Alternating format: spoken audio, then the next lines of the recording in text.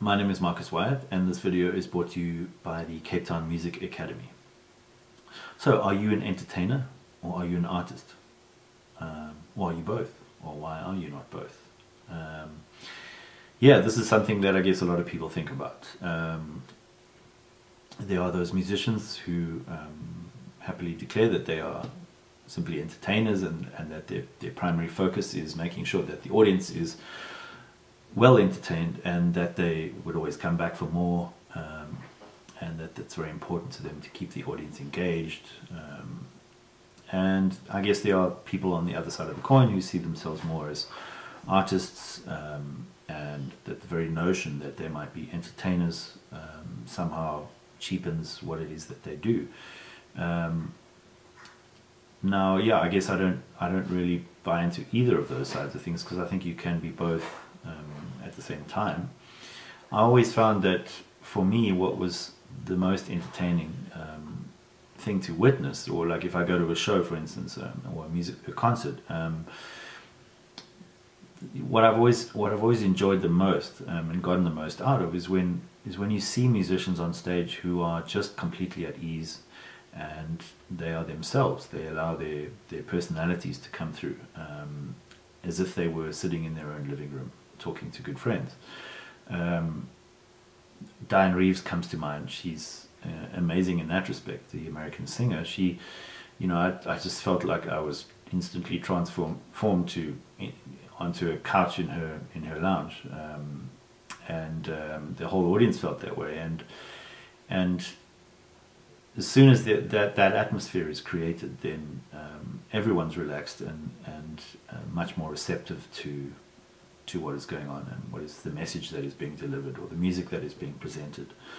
Um, the great Brazilian composer Egberto Gismonti, um, the same thing. Um, I'd never seen him live before uh, a couple of years ago, and you know I thought he might be someone that takes himself quite seriously. Um, he writes incredible super deep music, and and I was I was very pleasantly surprised to see how he interacted with the audience, and he had a sense of humor, and he wasn't afraid to show that. Um, I sometimes feel like, you know, sometimes people um, have the impression that if they um, make a joke or if they seem to be laughing um, on stage with the other musicians, that somehow they won't be taken as seriously. Um, I don't really think that that's the case or that anyone has to think that way. Um, what we do is, is in, in music is, is magical and joyful and I think it's, um, it's important to express that to an audience and um, to allow the audience to, to feel that. Um, so I guess what I'm trying to get at is that um, how, how you would try to marry these two things is simply by um, being yourself on stage.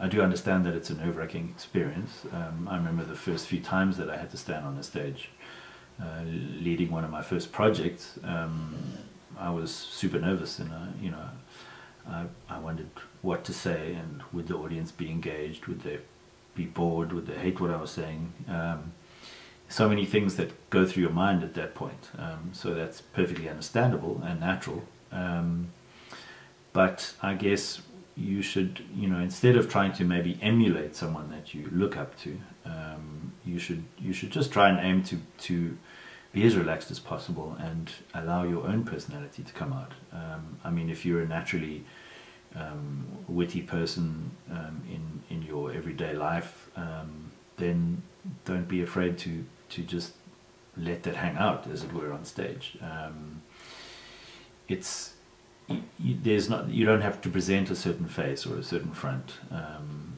I think what's important to the audience is to see that you are relaxed um, and that you are comfortable uh, because the minute that you are comfortable and that the musicians on stage are comfortable then the audience will immediately be at ease and they will be a lot more receptive um, to what it is that you do so yeah um, I hope that helps um, and to end with I guess just to be okay with the idea that um, you can be both an artist and an entertainer, um, whichever way you see it, um, and that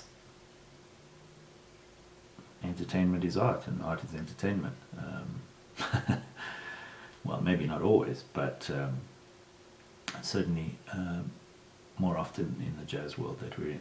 All right, thank you. Bye. Ungasambuzi mina mangifuna ngisuzi ayisebenzi inkunzi mina ngiwina angiluzi ungasambuzi mina mangifuna ngisuzi ayisebenzi